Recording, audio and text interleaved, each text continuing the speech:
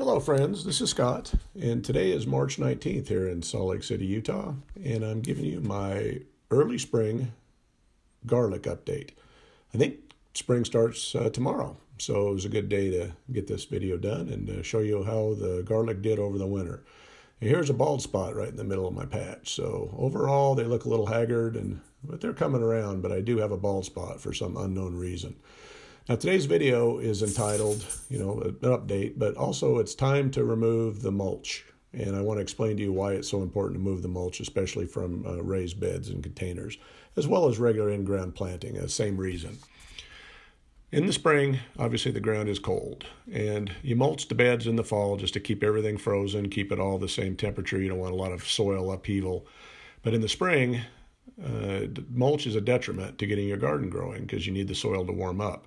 And there could be some overwintering pests in this material. So the first thing I'm going to do today is I'm going to pull out all this mulch, at least most of it anyway. It don't have to be perfect, but it's time to get rid of this so that the sun can uh, warm the soil. This time of the year, the soil is plenty moist, and it's not going to heat up enough to really dry out this uh, raised bed. But I will be putting new mulch down once the soil is warm and I start to have to water because then I want to use the mulch to suppress weeds as well as retain moisture, which will help the plants grow.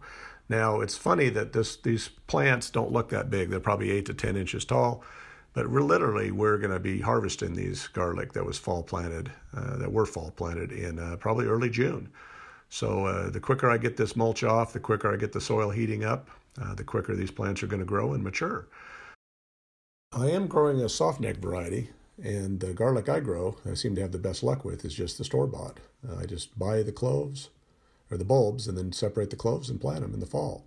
The reason you plant them in the fall is they need a dormant cold period to bulb up the next year. If I was to plant garlic in the spring, I'm probably not going to get bulbs. I'm just going to get uh, green garlic or just eat the tops.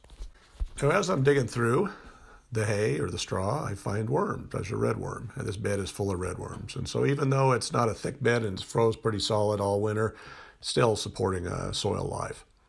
I'm really interested to see how this garlic is going to grow this year. Uh, last year, I was a little disappointed in the size of my uh, garlic heads that I harvested.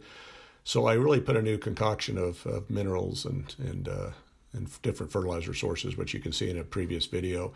And I'm hoping that I'll do a good job and uh, get some really big, big heads this year. But who knows? I have a bald spot in the middle. Don't know why. But nothing ever goes to waste. I'll just plant some onions in here in the bald spots. Then, like everything, uh, you got to bring the, the all the excess stuff from the garden as I almost fall through the gate and give it to the chickens because they'll kick through it and they'll eat the worms or whatever else is in there.